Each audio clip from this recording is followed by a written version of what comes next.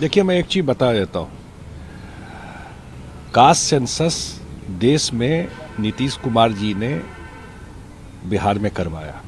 ये public domain में। अब राहुल गांधी जी को तो इतिहास भी थोड़ा समझना चाहिए। जिस परिवार या जिस पार्टी से आते हैं, लोगों को याद है, उनके एक नेता किस तरह 1990 में जब मंडल कमीशन का रिपोर्ट आया तो लोकसभा में किस तरह का बयान दिए थे। और मैं तो इंडिया के बैठक में गया हूँ मुख्यमंत्री जी के साथ। इंडिया के बैठक में मुख्यमंत्री जी लगातार बोलते रहे कि भाई, जब देश में भी जातीय जनगणना होना चाहिए। मुझे याद है, मुंबई में उन्होंने कहा कि एजेंडा में डालिए। और कांग्रेस के ये नेता जो बोल रहे हैं, ये सब लोग चुप रहते थे। तो उनको क्या समझ में आएगा, कास्ट सेंसस? क्या कास्ट होता है, क्या सेंसस होता है? उसका फिर आगे क्या काम करना है? इतना स्टेट में तो सरकार रही उनकी। कहाँ करवाया आज तक? तो यहाँ आकर के, चुटकुला करके उनको अपने, एक बार तो अमेठी गया। तो जो वायनाड सीट है, इस तरह जो जोक करते रहेंगे तो जनता वायनाड में भी जोक कर देगी उनके साथ। उस पर ध्यान देना चाहिए। नीतीश कुमार पिछड़ों की राजनीति में खास करके नीतीश कुमार का जो कंट्रीब्यूशन है, जो काम है और जो कास्ट सेंसस में उनका किया हुआ काम है और उसके बाद जो उस पर जो भी कुछ भी इम्प्लीमेंट किया है तो बिहार के जनता के बीच में है ना दो बार वो विधानसभा से इसको पास कराए और सब पार्टी का सपोर्ट लेकर के तब इस काम को करवाया जो लगातार इस तरह की बातें करते हैं कैसे मैं तो बताया हूँ। करते हैं कि 24 में मोदी जी को हटा देंगे। अब वो तो जनता तय करेगी किसको हटाएँगे नहीं हटाएँगे। 24 में कांग्रेस के गेट पे ताला लग जाएगा।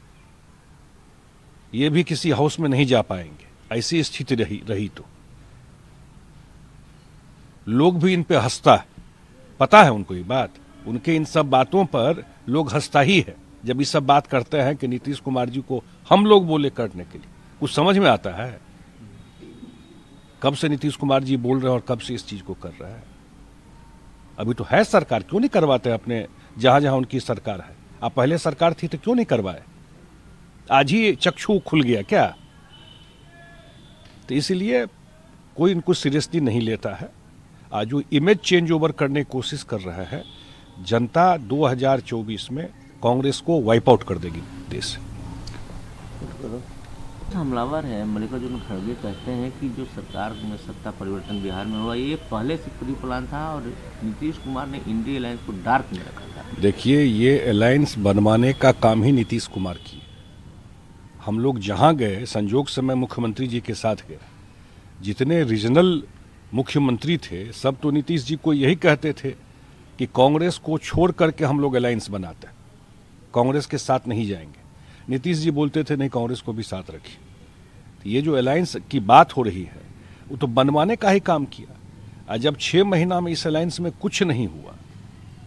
वो हर एक बार बोलते थे मैं सब कुछ फाइनल कर लीजिए। जब कुछ नहीं हुआ, और उसके बाद जिस तरीके से ये लोग काम कर रहे थे, कुछ लोग बैठ करके सिर्फ़ कॉन्स्परेसी कर रहे थे इस इंडिया अलायंस में। कौन तय किया कि पत्रकारों को बाइकआउट करेंगे? मुख्यमंत्री तो अगले दिन बोले, गलत बात है ये। कांग्रेस ने तय किया था ना। कहे पत्रकारों को बाइकआउट कीजिएगा भाई। तो वो अपना माइंड बोलते थे, जो सही, गलत जो है मुख्यमंत्री जी। लास्ट तक उन्होंने कोशिश की, अगर उनका ये रहता तो देश भर में घूमते रहते ही मुख्यमंत्री जी। घूम करके सबको इकट्ठा करते। ये जो घूम करके इकट्ठा करके बनाए, जब देखे कि लोगों का कोई भविष्य नहीं है कोई इसमें सीरियस नहीं है। कांग्रेस खुद ही 2024 का चुनाव के लिए हार मान चुकी है। वो 2029 का तैयारी कर रहा है। ऐसे कांग्रेस के लोग भी बोलते थे। वो तो ऑलरेडी गिव अप कर चुका है।